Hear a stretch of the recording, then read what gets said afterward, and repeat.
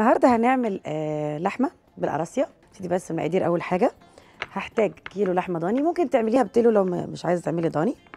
حزمة بقدونس بطاطس بصل متقطع صغير كزبرة ناشفة جنزبيل قرفة توم زعفران حر وكركم.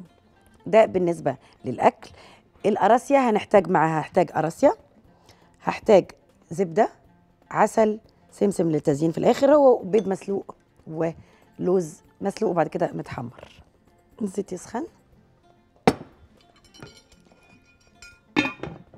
طيب هنقطع التوم على بال الزيت ما يسخن. طيب أحط التوم. أحط اللحمه الأول. اللحمة هنحطها على الناحية اللي فيها الجلد علشان تتحمر الأول. نحط الملح.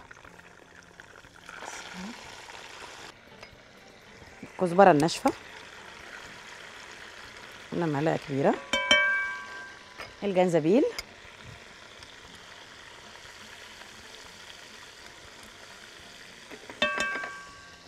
اللحمة من القراصيه من الأكلات حط بس القرفة. الأكلات الشهيرة عندنا جدا في المغرب. دلوقتي بقى هنحط البصل.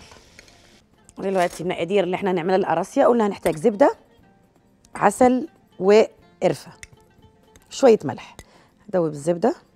أحط القراصيه هحط القرفة العسل شوية ملح قراصيه خلاص واللحمة برضو تقريبا خلاص.